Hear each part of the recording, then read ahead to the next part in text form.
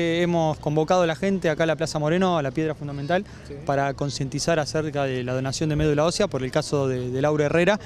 Así que bueno, hemos tenido buena repercusión en cuanto a compañeros, que han venido muchos, somos aproximadamente 100, 120, que ahora están distribuidos por la plaza repartiendo eh, volantes e intentando de concientizar a la gente acerca de la donación de médula.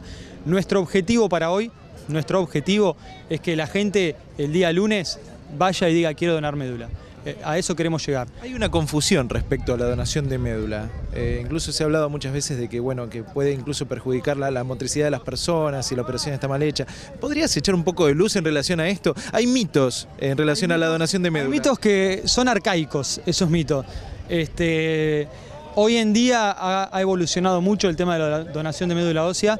Este, es un proceso fácil, similar a, la donación de plaquetas. Yo no sé si la gente ha donado plaquetas o no, pero lo es que... como una, donación de sangre más larga la donación de plaquetas. Más larga, un poco más sofisticada, no te voy a decir que es un proceso recontra sencillo, es sofisticado. Uno cuando vaya al banco de sangre de 1566 y les pide a, los a la gente que está ahí que, les explique cómo es, generalmente les muestran unas maquinotas enormes y la gente dice, uy, no, yo ahí no.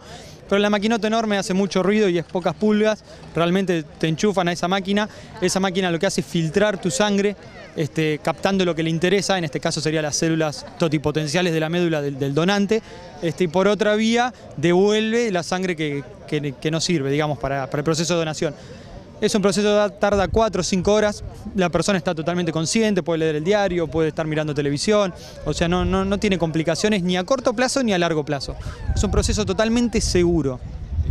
Totalmente. O sea, que cualquier individuo con ganas de hacerlo lo puede hacer yendo al Instituto de Hemoterapia y manifestar sus ganas, de, además de donar sangre, de médula ósea, de forma anónima, como un compromiso social y no como una obligación por, por una X persona.